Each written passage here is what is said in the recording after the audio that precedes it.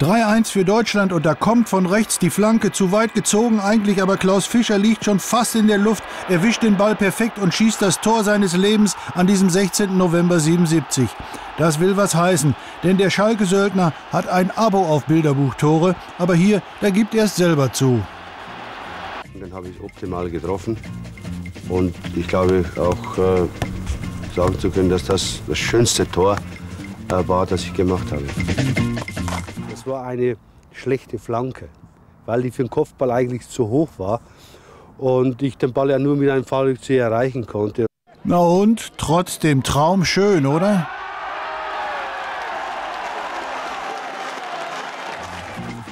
Vier eigene Bodyguards, zwei Jahrzehnte lang ist Fischer bestbewachter Mann der Liga. Immer effektiv und wenn es nur so geht, dann legt er eben auch vor. Kein Abstauber, ein Kämpfer eben, mit untrüglichem Torinstinkt. Das Publikum liebt ihn, besonders auf Schalke. 268 Mal trifft er in der Bundesliga, 182 Mal für Schalke und wer hier nach Klaus Fischer fragt, hört das. Den Fallrückzieher. ja, genau. Fallrückzieher, mehr sage ich nicht zu. Es kann nur ein erstes Fußballidol geben. Das war Klaus Fischer in meinem Leben.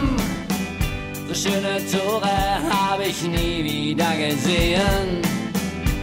Ohne Autogramm ließ er mich einfach stehen. Fallzieher in allen Varianten. Alte Herren 2003, Klaus Fischer, Tor des Monats. Sonst noch Fragen?